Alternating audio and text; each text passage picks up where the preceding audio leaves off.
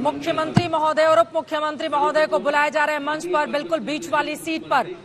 राज्यपाल साहिल वहाँ की तस्वीरों के बारे में आप जानकारी दें, मंच पर बुलाया जा रहा है। साहिल साहिल, आप कुछ बोलना चाह रहे हैं? जी इंटरेस्टिंग बात यह है कि साफ़ हो चुका है कि देवेंद्र फडणवीस भी आज ही शपथ लेंगे।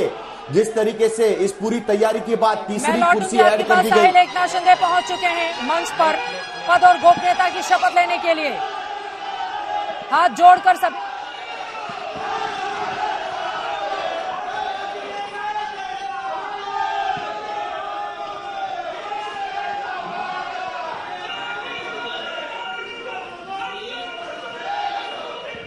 हिंदू हृदय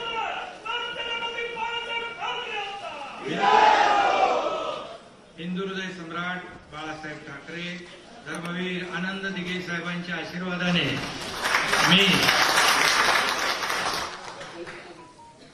एकनाथ संभाजी शिंदे ईश्वर साक्ष शपथ घेतो की कायद्याद्वारे स्थापित झाले आहे अशा भारतीय संविधानाबद्दल मी खरी श्रद्धा व निष्ठा बाळगीन.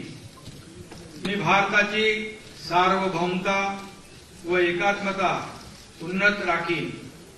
मी महाराष्ट्र राज्याचा मुख्यमंत्री म्हणून माझी कामे निष्ठापूर्वक व शुद्ध बुद्धीने पार पाडीन. आणि संविधान व कायदा यानुसार सर्व तऱ्हेच्या लोकांना मी निर्भयपणे व निस्पृहपणे तसेच कोणत्याही विषयी ममत्व भाव किंवा आकस न बाळगता न्याय्य वागणूक देईन. मी एकनाथ संभाजी शिंदे ईश्वर साक्ष शपथ घेतो की महाराष्ट्र राज्याचा मुख्यमंत्री म्हणून माझ्या विचारार्थ आणली जाईल किंवा मला ज्ञात होईल अशी कोणतीही बाब असा मुख्यमंत्री म्हणून माझी कामे यथायोग्य पार पाडण्यासाठी आवश्यक असेल ते खेरीत करून एरवी मी कोणत्याही व्यक्तीला किंवा व्यक्तींना प्रत्यक्षपणे व अप्रत्यक्षपणे कळवणार नाही किंवा त्यांच्याकडे उघड करणार नाही.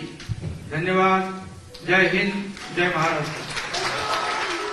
एकनाथ शिंदे ने पद और गोपनीयता की शपथ ले ली है। सबसे पहले मंच पर आने के साथ ही हिंदू हृदय सम्राट बाला साहब ठाकरे का उन्होंने नाम लिया और उसके बाद अपने गुरु दीघे साहब का नाम लिया और फिर अपना नाम लेते हुए पद और गोपनीयता की शपथ ली और अब वहाँ पर जो औपचारिकता होती है, दस्तखत करने की उसको निभाते हुए एकनाथ शिंदे एक ऑटो चालक से मुख्यमंत्री पद तक का सफ़र तय करने वाले अट्ठावन साल के ठाणे के सबसे बड़े नेता बन चुके हैं मुख्यमंत्री। साहिल, ये तस्वीरें सामने हैं।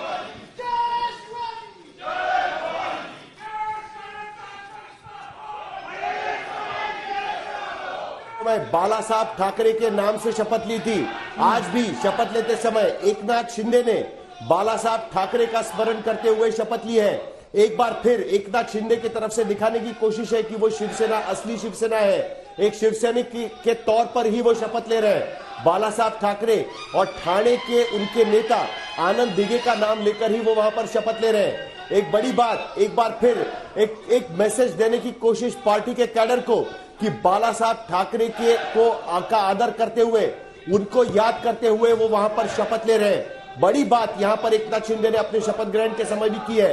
हालाँकि जिस तरीके से वहाँ पर घोषणा दी जा रही है, उससे बात साफ़ होती है।